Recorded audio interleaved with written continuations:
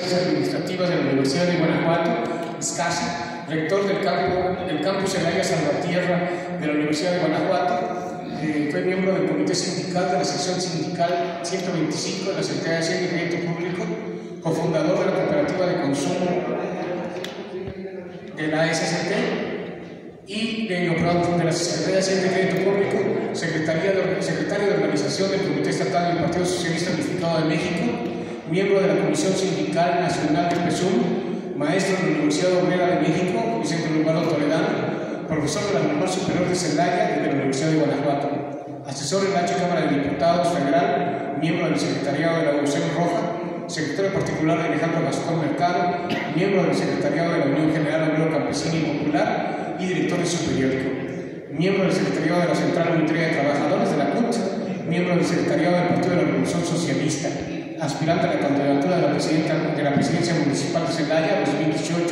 2018-2021 y en el 2021 al 2024 por Morena. Realizó un programa de radio semanal de una hora en Radio Numancia y en Radio Morena y escribe un artículo semanal para diversos medios de comunicación. Les doy la palabra a nuestro compañero Juan Miguel Ramírez Sánchez. Muchas gracias por venir. Gracias.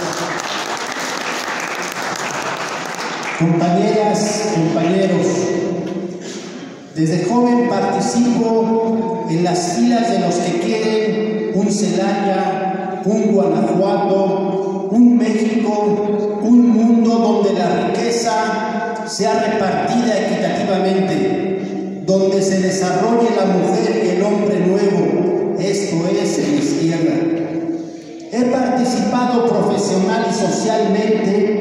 sin dejar mi quehacer de pensador y activista de izquierda. Por ejemplo, en la Secretaría de Hacienda y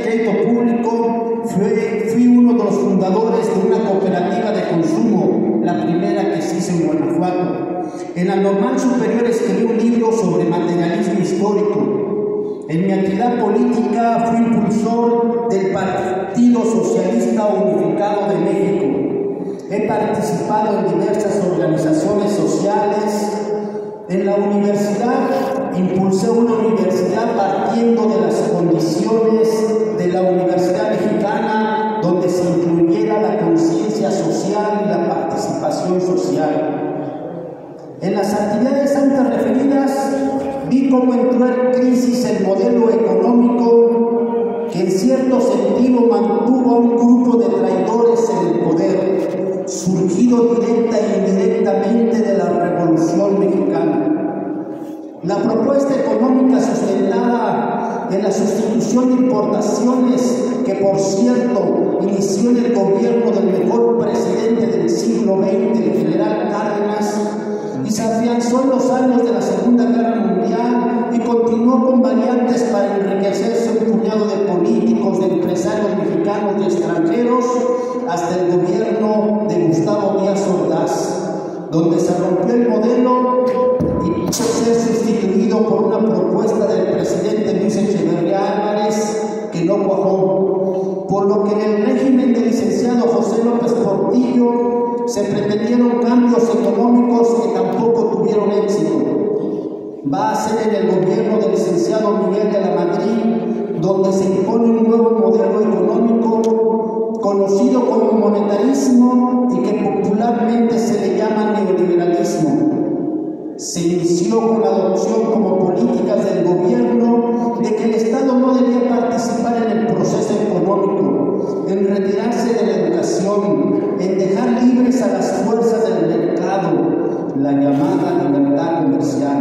en no protegernos de los bienes y servicios internacionales, en fin, de todo lo que hoy estamos combatiendo.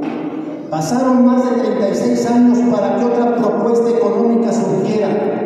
para que el presidente AMLO llegara al poder ejecutivo y desde ahí iniciar un ataque frontal a lo que conocemos como neoliberalismo y a impulsar lo mejor de la Revolución Mexicana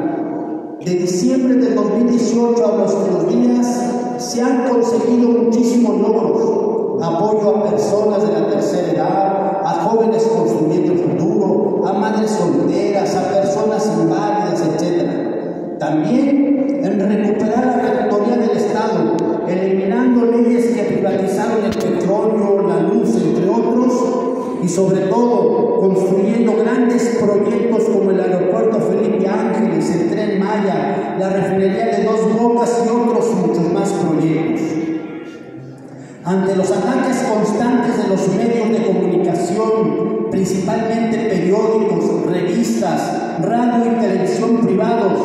las constantes resoluciones del Poder Judicial en favor de delincuentes y empresarios sin escrúpulos, de las decisiones de las oficinas, entre comillas, descentralizadas, creadas en el periodo neoliberal,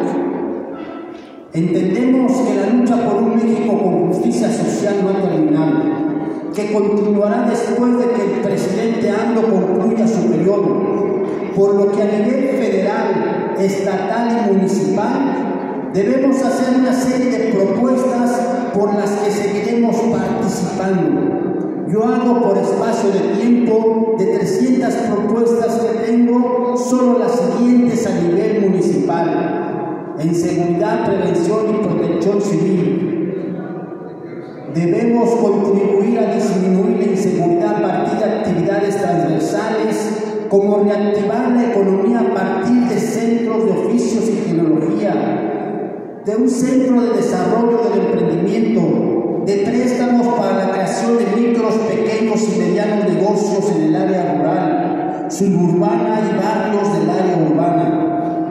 Apoyar la creación de cooperativas de producción, de cooperativas de vivienda, de cooperativas de transporte, de cooperativas de consumo, de cooperativas de servicios, impulsar, impulsar 100 centros de cultura, arte y recreación, creación de 100 ligas de fútbol, voleibol, béisbol, atletismo, fútbol rápido en los barrios y colonias y comunidades en todo el municipio de Celaya. Impulso a la economía Debemos combatir la pobreza de vastos sectores de la sociedad mediante la preparación, fomentación, creación de fuentes de trabajo y el impulso a las actividades productivas, particularmente de las comunidades y barrios. Organizar una lucha sistemática para elevar las condiciones sociales y económicas de la ciudadanía con los siguientes puntos. Formación de cooperativas de consumo, producción, trabajo, transporte, agropecuarias de crédito, de servicios, cooperativas de trabajo asociado,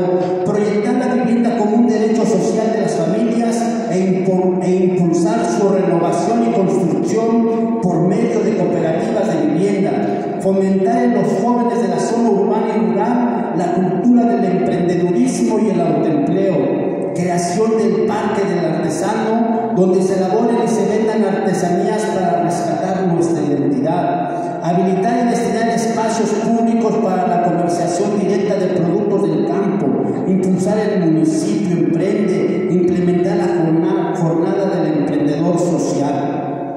En el área rural, el sector sido el más desprotegido, ha subsistido abandonado a su suerte sin apoyos para producir, por lo que han debido migrar, suspender el cultivo de sus tierras, convertirse en jornaleros de los nuevos hacendados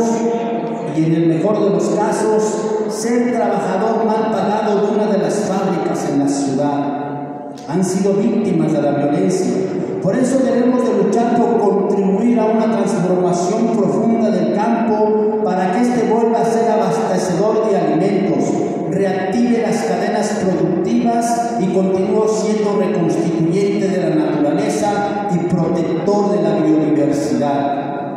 Debemos impulsar las huertas de horticultura y huertas familiares, construir con la población local caminos de piedra en el medio rural y semi-rural, fortalecer e impulsar la producción de animales de traspatio, apoyar a cooperativas de transporte para las zonas rurales que no cuentan con transporte público para poder transportarse a su trabajo, a la escuela, a la ciudad. Organizar a los productores para la generación de proyectos colectivos, crear el centro de asesores para el campo con grupos de agrónomos, realizar compras consolidadas de agropecuarios para el campo, producción de un fertilizante foliar para su venta barata, comercialización de semilla para el maíz, frijol, trigo, originadas por el UNIFAD para ser repartida por el municipio Por último, educación, cultura y arte. Organizar talleres de arte en 100 lugares de todo el municipio. Crear 100 centros culturales en los barrios, colonias, parques, escuelas, parroquias de la zona urbana y rural. Llevar a 100 lugares los, jóvenes y sábados culturales proyectar en 100 lugares a la vez películas, el martes del cine, organizar permanentemente eventos en 100 lugares a la vez para promover y difundir la historia, las tradiciones y culturas del municipio, del Estado de México,